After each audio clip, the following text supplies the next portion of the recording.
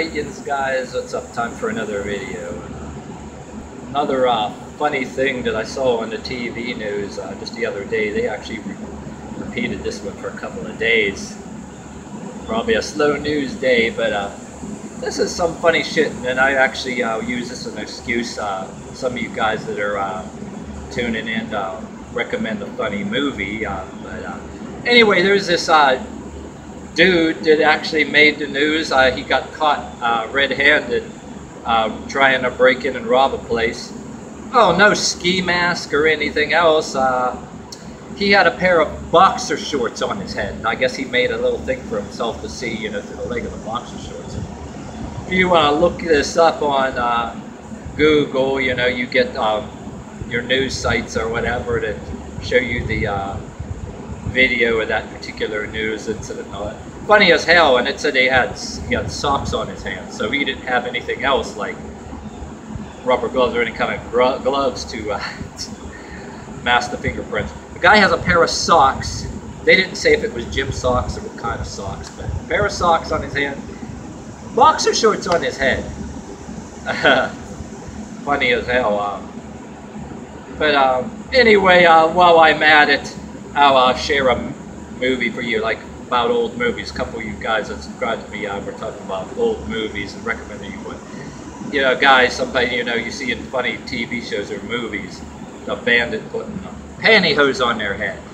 And um, there was this movie called Raising Arizona, and then later on there was a biker involved. A biker bounty hunter, hunter was involved, but um, this uh, repeat offender was always going to prison. He lived in a trailer in Arizona, and I guess he somehow uh, managed to start dating and going steady and living together with. Uh, well, this is only in the movie too. Uh, a cop that was a ven- uh, female cop that was, you know, taking the pictures and doing the things in the rap sheet. Uh, you know, in the movie, they get together or whatever, and they decide, you know, they were uh, kidnapping babies, but in the long run, the babies were all returned, and the one respectable uh, person who owned businesses, and he was some kind of political fig- figure, sending out a reward to get their kid back. they thought that they were going to have a family taking kids, right? But the guy had a history of, in the movie, of robberies. So there was a funny scene in the uh, movie uh, where the guy goes, you know, right in the store. You know, in the movie, they see his face and all, but they do have to make it funny. He just goes, you know, in the, the aisle, opens up a pair of pantyhose right in the convenience store, puts them on his head, and then he goes and get a pair of Huggy, uh, um, a box of Huggies diapers, and he has this, uh, he has a pistol, and he goes, uh, I'll be taking his Huggies and whatever cash you got, you know, and meanwhile, right after all that, they're being chased, and then they're arguing.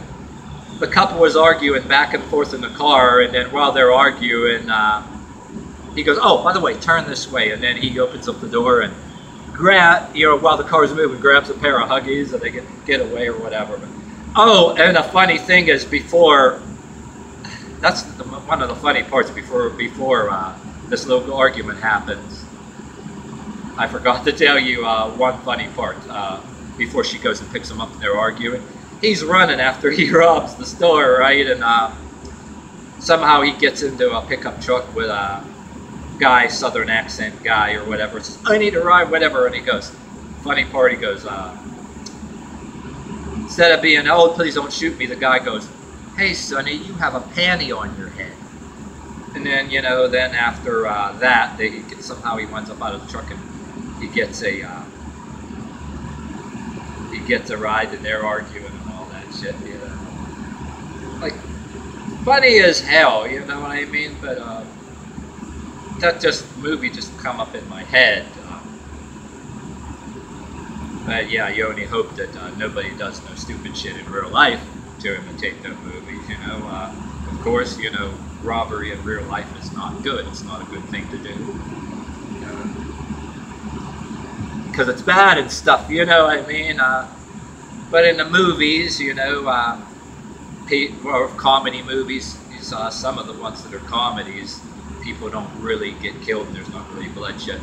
In some cases, some of the comedies, people get killed in a kind of funny way. And then you get the uh, Leslie Nielsen style uh, humor, Naked gunstar humor, about you know, you know what I mean.